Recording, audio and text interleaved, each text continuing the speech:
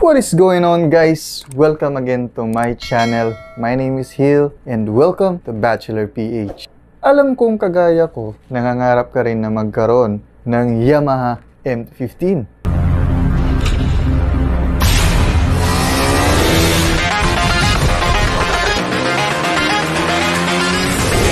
So today, in this video, pag-uusapan natin kung magkano nga ba ang kailangan mong ipunin upang magkaroon ka ng pinapangarap mong motorsiklo.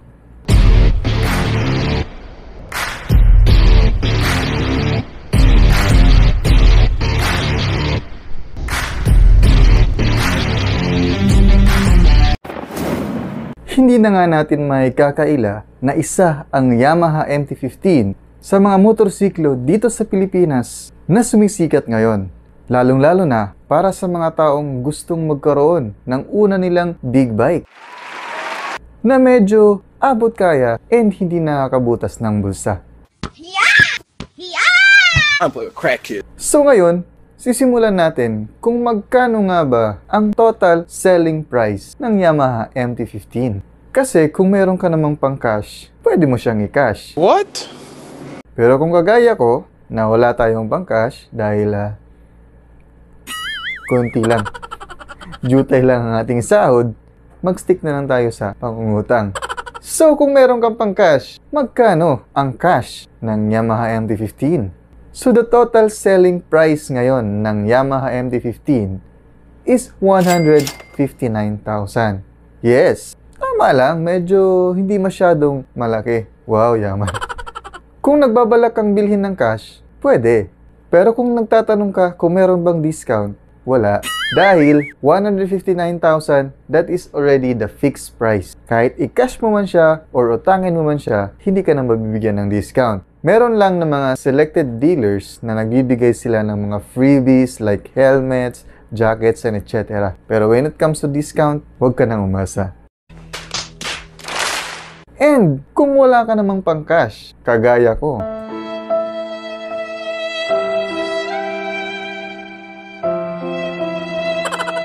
So doon na lang tayo sa option na utangin na lang natin.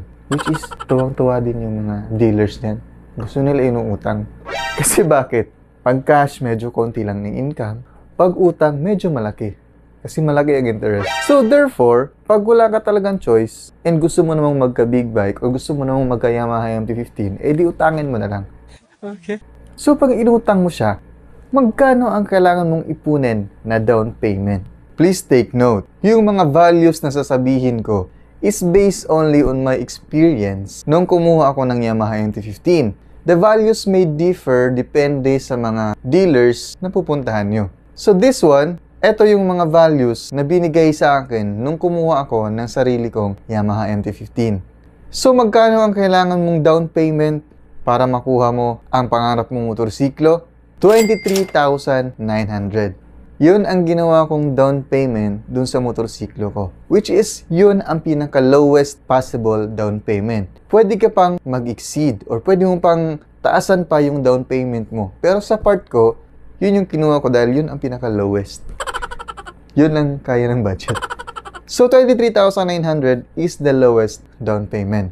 So, 159,000 is the selling price. I-deduct mo yung down payment mo na 23,900 your loan amount will be 135,100.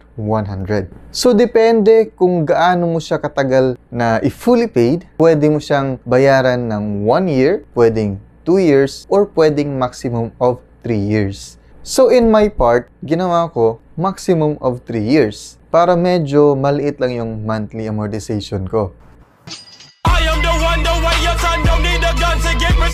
Pero, in time, pag meron ka naman na malaking cash, pwede mo nang bagsakan or pwede mo nang i-fully paid yung utang mo sa motorsiklo mo. So, kung sa 3 years mo siyang kinuha, ang magiging monthly amortization mo or your monthly hulugan mo is 6,551. So, tama lang. Hindi masyadong malaki.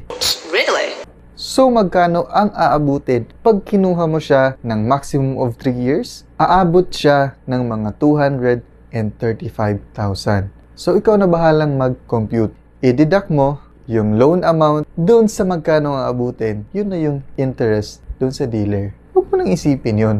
Basta ang mahalaga, meron ka ng Yamaha MT-15. So kung nalalakyan ka doon sa interest dahil sa 3 years siyang babayaran, so mag-stick ka na lang sa option. I-cash mo na lang siya. So that's it. Yun ang mga figures na kailangan mong ipunin para magkaroon ka or para makuha mo na ang pinapangarap mong motorsiklo which is the Yamaha MT-15. Down payment, 23,900. Monthly amortization, 6,500. So kung meron ka na ng ganong budget, ano pang hinihintay mo? Pumunta ka na doon sa dealer na malapit sa lugar nyo and kunin mo na ang pinapangarap mong motorsiklo. Thank you for watching. My name is Hill and I'll be seeing you on the next one.